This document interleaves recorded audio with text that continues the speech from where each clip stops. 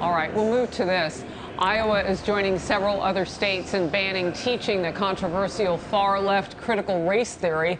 It asserts that America is inherently racist as a country. Florida's education board could pass a similar ban today. So this is happening very quickly. Yes. A Virginia mom who survived Maoist China before coming to America is comparing teaching CRT, that race theory, to the revolution she escaped. Here's some of her powerful speech at the Loudoun County School Board. I've been very alarmed about what's going on in our school. You are now teaching, training our children to be social justice warriors and to loathe our country and our history. This is indeed the American version of the Chinese communist, the Chinese Cultural Revolution. The critical race theory has its roots in cultural Marxism. It should have no place in our schools.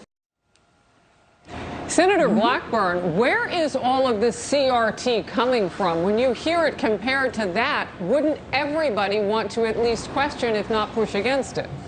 Harris, I hear from moms every single day, and I hear from friends who are naturalized citizens. They are incredibly concerned about this. They do not want our children to be taught to judge people by the color of their skin. They want our children to love this country. They want our children to know that we are a land of freedom. We are a land of opportunity, that everyone has equal access to opportunity to make their dreams come true. And as they are looking at what their children are being taught, they are horrified with this. And they want our children to know history, to know civics, to appreciate the freedoms that they have.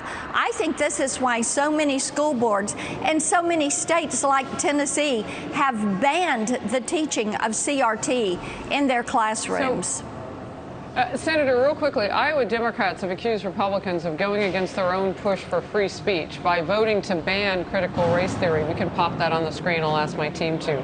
Here's what they write We can't say, on one hand, we want freedom of speech, and on the other hand, say we want to hear both sides, then stifle those sides. Real quick response from you when you are standing on principle and you are teaching our nation's history and you want to have a discussion about how our nation has grown, that is one thing.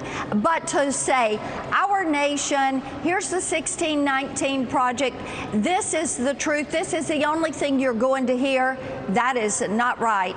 And I appreciate that our states are putting a stop to this right now.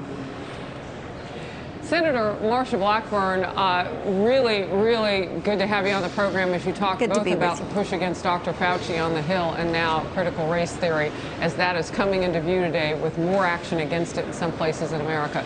Great to see you. Thank you very much for your Thank time. You.